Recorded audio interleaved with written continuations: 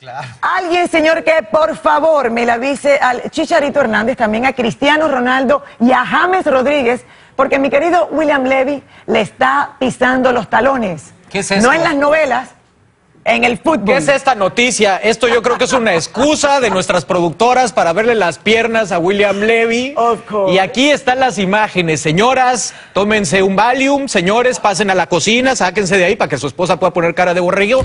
Y estas son las escenas de William Levy viendo, digo, jugando fútbol. Jugando.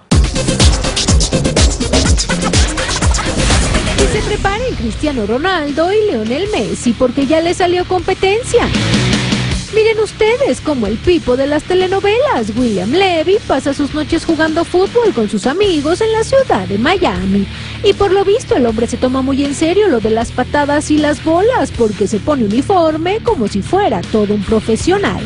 Fíjense bien cómo el cubano corre y corre tratando de alcanzar la pelota, pero al parecer no es muy bueno que digamos porque casi todo el partido se la pasó sentado en el piso más fatigado que si tuviera un ataque de asma. Eso sí, William entrena y calienta esos músculos como todo un futbolista o quizá como un bailarín del ballet Bolshoi.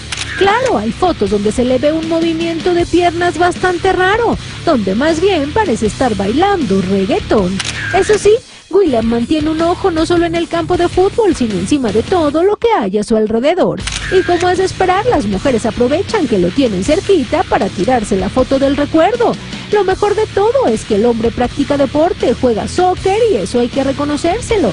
Ahora esperamos que al igual que Ronaldo y James Rodríguez, se decida a posar en calzoncillos para felicidad de todas nosotras las mujeres y, ¿por qué no?, de alguno que otro caballero, ¿no lo creen?